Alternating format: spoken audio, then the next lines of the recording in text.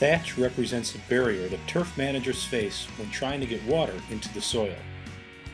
Notice how the water beads on the surface of the turf. It cannot break the surface tension.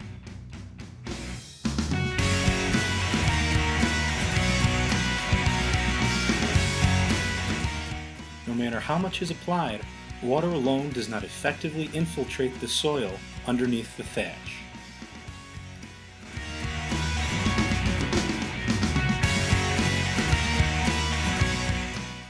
With the addition of an infiltration surfactant, water is treated and moves through the thatch into the root zone.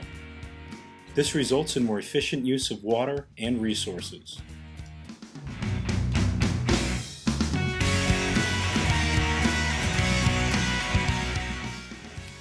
Precision Zone surfactants are designed to meet your specific conditions and better help manage your resources by addressing the needs of soil hydration and water infiltration.